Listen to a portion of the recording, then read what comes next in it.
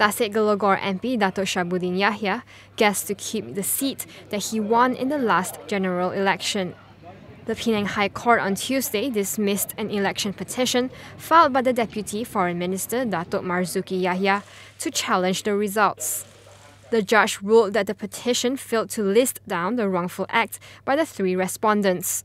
The judge said Marzuki also failed to categorize the wrongful act by the Election Commission. Marzuki's counsel said he will seek the deputy minister's views to see if he wants to file an appeal on the court decision.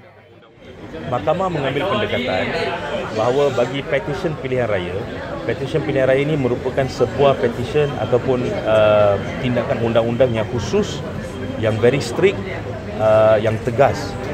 Uh, so mahkamah menyatakan bahawa apabila petition pilihan raya ini secara khususnya tegas, maka setiap satu inci perkataan dalam petition seharusnya mengikut uh, ketegasan tersebut.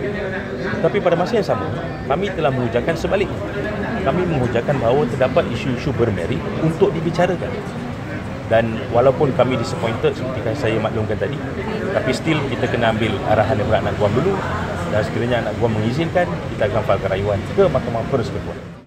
In his petition, Marzuki had asked for a recount of the 689 spoiled votes and 297 unreturned postal votes after losing the election to Shabuddin by 81 votes. However, the judge said recounting of votes only can be done at the polling station. He also ordered Marzuki to pay Shabuddin 10,000 ringgit in cost.